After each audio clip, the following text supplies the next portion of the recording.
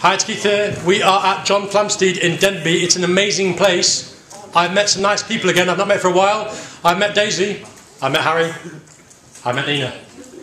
I met Kezia. I met a lady called Sean. I've also met these people here. George. I met Oliver. I've met Shaquille. I've met Joe. By the way, Joe, mm, genius. Anyway, please say hi.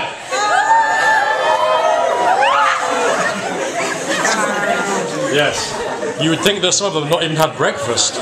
Anyway, please say bye. Last time I see these guys for a while, they're year 11, they're the future of this country. This is John Flamsteed. I love you.